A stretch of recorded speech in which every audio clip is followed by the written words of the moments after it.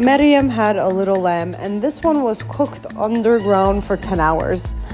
Now, this thing was heavy, but I told Max if he did anything ever, ever, he would be next in the ground. Anyways, back to the lamb. There was a bunch of wires we had to cut, and then we had to cut the bag open. You see the steam? Look at that. Now, finally, keep going. See that juicy meat? Voila! This is the final result.